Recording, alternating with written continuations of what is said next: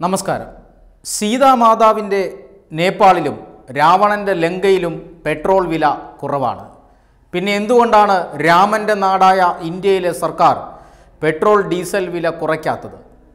കഴിഞ്ഞ വർഷം ഇതേ സമയം കേരളത്തിലെ കമ്മ്യൂണിസ്റ്റ് സൈബർ പോരാളികൾ ഏറ്റെടുത്ത പ്രചരണ വാക്യമായിരുന്നു ഇത്. വസ്തുതകൾക്ക് വിരുദ്ധമായ പ്രചരണമായിരുന്നു അത്. കാരണം അന്നു തന്നെ ശ്രീലങ്കയിൽ പെട്രോളിന് ഇന്ത്യയിലേതിനേക്കാൾ വിലയുണ്ടായിരുന്നു. ഇതൊന്നും കാണാതെ ശ്രീലങ്കയിൽ ഇന്ധനത്തിന് ഇന്ത്യയിലേതിനേക്കാൾ വില കുറവാണെന്ന് പ്രചരിപ്പിച്ചിരുന്നവർ സൈബർ സഖാക്കൾ മാത്രമായിരുന്നില്ല. ചാനൽ ചർച്ചകളിലും തെരുവ് യോഗങ്ങളിലും പ്രസംഗിച്ച സി പി ഐ എമ്മിന്റെ ഉന്നത നേതാക്കൾ വരെ അത് ഏറ്റെടുത്ത് പറഞ്ഞു നടന്നിരുന്നതാണ്. ശ്രീലങ്ക ഇപ്പോൾ വലിയൊരു സാമ്പത്തിക പ്രതിസന്ധിയിലാണ് എന്ന് നമുക്കറിയാം. വിദേശ നാണയ ശേഖര പ്രതിസന്ധിയിലായ രാജ്യത്ത് ഭരണകൂടത്തിനെതിരെ വലിയ പൊതുജന പ്രക്ഷോഭങ്ങളും നടക്കുന്നു. ആ ജനതയെയും ആ രാജ്യത്തെയും കുറ്റപ്പെടുത്തുകയോ കളിയാക്കുകയോ അല്ല.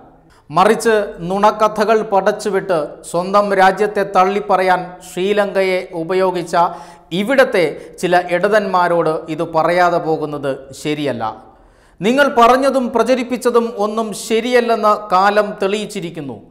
നിങ്ങൾ അന്നു പറഞ്ഞ ശ്രീലങ്കയെ ഇന്ന് കാണുന്നുണ്ടോ? രാജ്യത്തെ ഏക പെട്രോളിയം റിഫൈനറി അസംസ്കൃത എണ്ണ വാങ്ങാൻ രാജ്യത്തിന് വിദേശ നാണ്യം ഇല്ലാത്തത് മൂലം അടച്ചുപൂട്ടി. പമ്പുകളിൽ കിലോമീറ്റർ നീളുന്ന ക്യൂ രൂപപ്പെട്ടു. അതിൽ കുഴഞ്ഞു വീണു മരിക്കുന്നവരുടെ വാർത്തകളും വരുന്നുണ്ട്. ആഗോള പട്ടിണി സൂചിക എന്ന ഉടായിപ്പ് റിപ്പോർട്ടിൽ ശ്രീലങ്ക ഇന്ത്യയുടെയും മുകളിലാണ് എന്ന് പറഞ്ഞ് കളിയാക്കിയവരുടെ മുഖമൊന്ന് കാണട്ടെ. ഹ്യൂമൻ ഡെവലപ്മെന്റ് ഇൻഡെക്സിൽ ശ്രീലങ്കയുടെ സ്ഥാനം കാട്ടി ഓരിയിട്ട കമ്മ്യൂണിസ്റ്റ് ശാസ്ത്രജ്ഞർ ഇവിടെങ്ങാനും ഉണ്ടോ എന്നറിയില്ല. ഈ പറയുന്ന പട്ടിണി സൂചികയിലും ഹ്യൂമൻ ഡെവലപ്മെന്റ് ഇൻഡെക്സിലുമൊന്നും ഒന്നുമില്ലെന്ന് ഇപ്പോൾ ജനങ്ങൾക്ക് മനസ്സിലായിട്ടുണ്ടാകും. കമ്മ്യൂണിസ്റ്റുകളുടെ ഈ സൂചികയിൽ ഏറെ മുന്നിലുണ്ടായിരുന്ന ശ്രീലങ്കയിൽ ജനം ഇന്ന് അവശ്യ വസ്തുക്കളുടെ ക്ഷാമം കൊണ്ടും വിലക്കയറ്റം കൊണ്ടും പൊറുതിമുട്ടുകയാണ്. സ്കൂളുകളിൽ പരീക്ഷ മുടങ്ങി. കാരണം എന്താണെന്നല്ലേ? കടലാസും മഷിയുമില്ല. വാങ്ങാൻ പണമില്ല.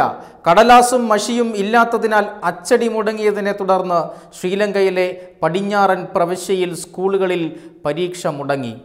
സാമ്പത്തിക പ്രതിസന്ധി മൂലം കടലാസ് മഷി എന്നിവ ഇറക്കുമതി ചെയ്യാൻ കഴിയാത്തതാണ് ഈ പരീക്ഷ മുടങ്ങാൻ ഇടയാക്കിയത്.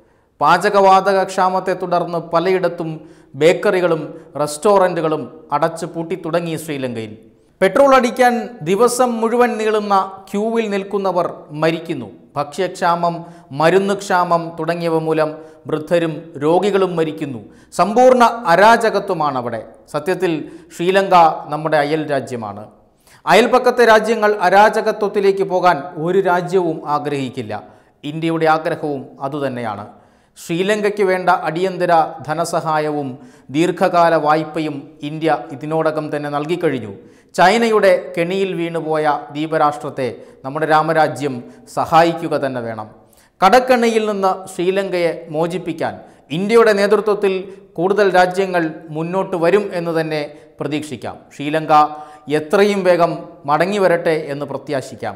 ഇനി മേലാൽ പട്ടിണി സൂചിക പോലുള്ള ഉടായിപ്പുകളുമായി സഖാക്കൾ തലപൊക്കില്ലെന്നും പ്രതീക്ഷിക്കാം. വെബ് ഡെസ്ക് തത്തുമയി ന്യൂസ്.